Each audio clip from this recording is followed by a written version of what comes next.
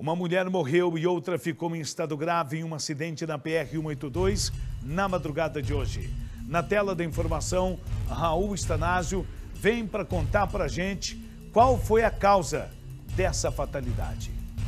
Pois é, Paranga, foi uma batida aí entre moto e carro, tá? Esse, essa é a primeira morte registrada por acidente de trânsito aqui no município de Toledo, infelizmente. Primeiro de janeiro e a primeira morte já confirmada. Segundo as informações, duas mulheres, elas estavam em uma motocicleta Honda Bis, saíram aqui da cidade de Toledo, tinham como destino, né, aliás, a rodovia PR-182 até a cidade de Palotina, quando nas proximidades do aeroporto, ainda aqui em Toledo, atrás estava um motorista conduzindo um veículo Ford Ranger, que relatou aos policiais que tinha muita neblina no momento do acidente ele não percebeu as mulheres na moto quando acabou então batendo atrás. Com a força do impacto, uma das mulheres não resistiu, ela morreu na hora. Ela não portava documento, então por isso ela não teve a identidade revelada naquele momento do acidente. Não foi identificada. O corpo recolhido e encaminhado ao Instituto Médico Legal.